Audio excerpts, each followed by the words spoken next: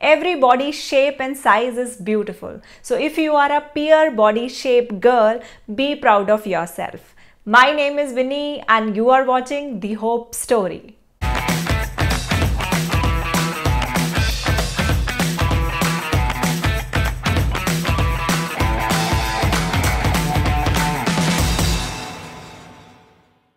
अगर आप अभी भी अपने बॉडी शेप को लेके कंफ्यूज हैं तो आप देख सकती हैं ये वीडियो जो आपको बताएगा कि आपका बॉडी शेप क्या है।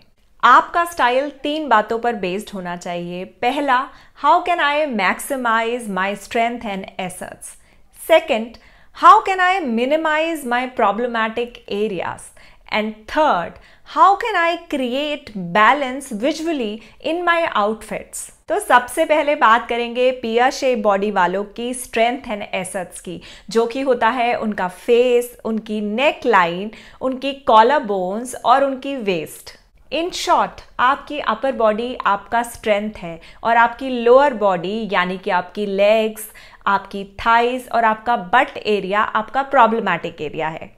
तो आउटफिट्स में बैलेंस और प्रोपोर्शन क्रिएट करने के लिए हमें हाईलाइट करना है अपनी अपर बॉडी को, जिससे कि सारा आइज़ का टेंशन जो हो वो अपर बॉडी की तरफ़ जाए comparatively to lower body fashion के कोई रूल्स नहीं होते। तो जो भी बातें आज मैं आपके साथ शेयर करने वाली हूँ, वो कोई रूल्स नहीं हैं। वो टिप्स हैं गाइडलाइंस हैं अपनी आउटफिट को, अपनी ड्रेसिंग को इंजॉय करने के लिए अपने बॉडी शेप के साथ। तो सबसे पहले हम बात करेंगे अपर बॉडी की, जिसमें सबसे पहले आती है हमारी नेक लाइन्स हमारे लिए off shoulder one shoulder off या जितनी भी ब्रॉड नेक लाइन्स हैं वी शेप बोट नेक ये हमारी कॉलर बोन्स को बहुत हाईलाइट करती हैं। इसीलिए ये पियर बॉडी शेप वालों के ऊपर बहुत अच्छी लगती हैं। शोल्डर पैड्स भी एक बहुत अच्छी ऑप्शन है आपकी अपर बॉडी में वॉल्यूम क्रिएट करने के लिए। स्लीव्स भी आप फ्लेयर स्लीव्स पफ स्लीव्स या कोई भी डिफरेंट स्लीव्स ट्राई कर सकती हैं जो कि सारा का सारा अटेंशन आपकी अपर बॉडी पर लेकर जाए। कलर डिसाइड करते वक्त अपनी अपर बॉडी के लिए आपको हमेशा ये ध्यान रखना चाहिए कि आप ऐसे कलर्स को चुनें जो आपकी स्किन अंडरटोन के अकॉर्डिंग हो और आपकी स्किन को कॉम्प्लीमेंट करें। इससे रिलेटेड भी एक वीडियो है इस चैनल के ऊपर, उसका लिंक भी मैं डिस्क्रिप्शन बॉक्स में ज़रूर दे दूँगी। पियर बॉडी वालों के लिए प्रिंट्स का समुंदर है मार्केट के अंदर। आप सारे बोल्ड प्रिंट्स जितने बड़े फ्लोरल प्रिंट्स होते हैं वर्टिकल स्ट्राइप्स हैं, या ऐसे प्रिंट्स जो काफ़ी लाउड होते हैं ब्रॉड नेक लाइन्स के साथ डेलिकेट ज्वेलरी एक बहुत अच्छा ऑप्शन होती है अपनी अपर बॉडी को हाईलाइट करने के लिए। अगर आप ज़्यादातर सॉलिड कलर्स पहनती हैं तो उसके साथ आप इन्वेस्ट कर सकती हैं कुछ बिग बोल्ड स्टेटमेंट पीसेस में। आप कुछ ऐसे नेक पीसेस या एयरिंग्स ले सकती हैं अगर आप ज़्यादातर वेस्टर्न पहनती हैं तो कोशिश कीजिए कि जो आपकी अपर बॉडी का गारमेंट है, आपका टॉप या शर्ट उसकी जो लेंथ हो, वो आपके प्रॉब्लमैटिक एरिया पे आकर ख़त्म ना हो। आप उसे अपनी वेस्ट लाइन पे ख़त्म कीजिए या वेस्ट लाइन से टू इंचेस नीचे ख़त्म कीजिए, जो कि देगा आपकी लेग्स को एक long and lean illusion A line silhouettes and cuts आपके लिए ब्लेसिंग है। तो आप अगर वेस्टर्न पहनती हैं तो आप ए लाइन स्कर्ट्स या ड्रेसेस के लिए जा सकती हैं। अगर आप कुर्ताज पहनती हैं तो ए लाइन कुर्ताज या अनारकली जो कुर्ताज होते हैं, वो बहुत अच्छी ऑप्शन होते हैं पियर बॉडी शेप वालों के लिए।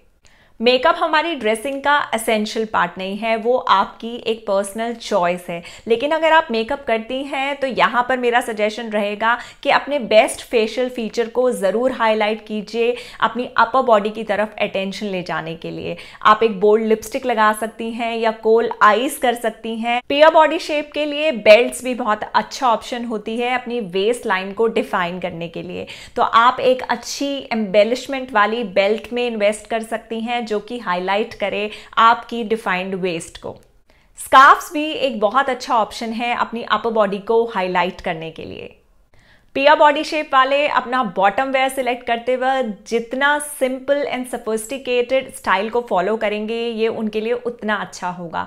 बॉटम वेयर को डिसाइड करते वक्त कोशिश कीजिए कि आप डार्क सॉलिड कलर्स को चुने। नेवी ब्लैक ये बहुत अच्छे ऑप्शन हैं अगर आपकी पियर शेप बॉडी है।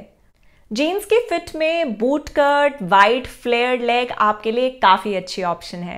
वैसे तो पिया बॉडी शेप को स्किनी जीन्स फिट को अवॉइड करना चाहिए, लेकिन आजकल ये बहुत ट्रेंड में है तो अगर आप स्किनी जीन्स पहनना चाहती हैं तो आप अपनी स्किनी जीन्स को न्यूड पॉइंटेड फुटवेयर के साथ पहनिए। वो भी हेल्प करेगा आपको एक लॉन्ग इल्यूजन क्रिएट करने में। सलवार और प्लाजो डिसाइड करते वक्त कोशिश कीजिए कि उसमें घेरा बहुत ज़्यादा नहीं हो, क्योंकि अगर घेरा ज़्यादा होगा तो वो काफ़ी बल्ज ऐड करेगा आपकी लोअर बॉडी में।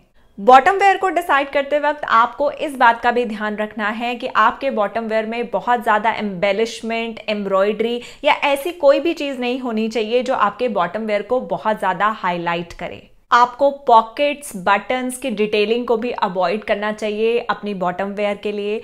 और जो मार्केट में ऐसी डेनम्स आती हैं जिसमें कॉन्ट्रास्ट कलर की सीम होती है, उसको भी अगर आप अवॉइड करेंगी तो आपके लिए अच्छा है। पिया बॉडी शेप वालों के लिए जो सबसे बड़ी गुड न्यूज़ है, वो है साड़ीज। साड़ीज आपके लिए एक बहुत बड़ी ब्लेसिंग है और ऐसा इसलिए है क्योंकि साड़ी टू पीस गारमेंट है ब्लाउज एंड साड़ी। तो हम यहाँ पर डिवाइड कर रहे हैं दो चीज़ों को upper body and lower body को। और अपर बॉडी में हमारे पास ऑप्शन है बहुत खूबसूरत नेकलाइंस पहनने की एम्ब्रॉयडेड ब्लाउजेस पहनने की। और जितना चाहे हम उतना सोबर हो सकते हैं अपने बॉटम वेयर के लिए, यानी कि साड़ीज के लिए।